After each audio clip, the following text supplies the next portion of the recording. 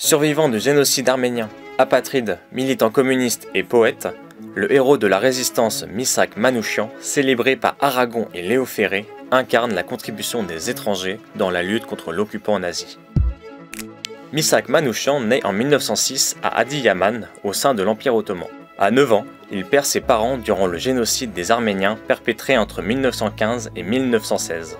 En fuite avec son frère, il rejoint la France en 1925 après être passé par un orphelinat au Liban. Menuisier puis ouvrier à Citroën lorsqu'il arrive à Paris, il aide son frère malade qui meurt en 1927. Il suit des cours à la Sorbonne et montre sa passion pour la poésie en écrivant pour Tchank, une revue écrite en arménien. Il y propose des traductions de poèmes célèbres ainsi que ses propres créations. Quant à ses convictions politiques, elles se construisent avec les références euh, du pays euh, qu'il accueille, c'est-à-dire les références euh, à la Révolution française, aux Lumières, qui vont le marquer tout au long de son engagement, jusqu'à sa mort. À partir de 1934, cet engagement se développe au sein du Parti communiste français et du Comité de secours pour l'Arménie. Il a été manifestement très rapidement sensible euh, aux dangers fascistes, dangers nazis, et son premier vrai engagement politique est de 1934-1935.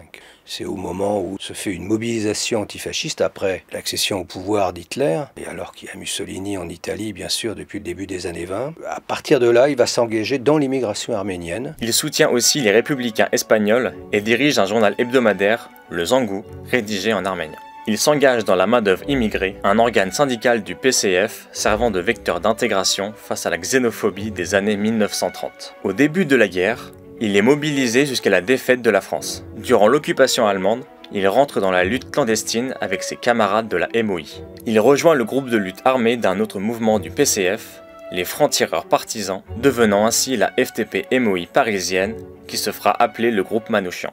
En 1943, plusieurs dizaines d'attentats sont orchestrés par le groupe. Leur résistance entraîne une véritable traque par la police française. Une filature méticuleusement organisée se solde par l'arrestation de Missak et d'autres membres du groupe en novembre 1943. Manouchian et 21 d'entre eux sont torturés. Aucun ne parle afin de protéger leurs camarades, dont Méliné Manouchian, l'épouse de Missak. Il aimait beaucoup euh, tous ses camarades et tous ses camarades le respectaient. Ils sont fusillés le 21 février 1944 au Mont Valérien, une colline où sont exécutés plus d'un millier de résistants et otages pendant l'occupation. S'ensuit une campagne de propagande orchestrée par les nazis, discréditant le groupe. Telles sont les œuvres de terroristes étrangers et presque tous juifs.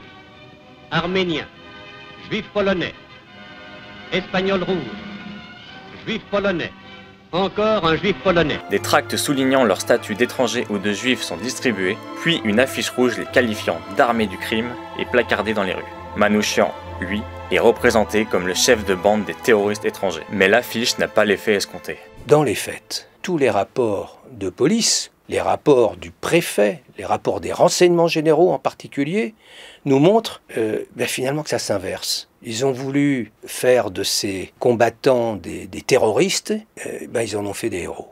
Ils les ont euh, présentés comme le fer de lance de la résistance en France. La mémoire du groupe est ravivée par Louis Aragon, qui lui consacre un poème en 1955, strophe pour se souvenir, inspiré de la dernière lettre de Missak adressée à Méliné le jour de sa mort. C'est ce poème que chante Léo Ferré dans l'affiche rouge en 1961, plaçant définitivement Manouchian parmi les figures reconnues de la résistance. Ils étaient 23 quand les fusils fleurirent.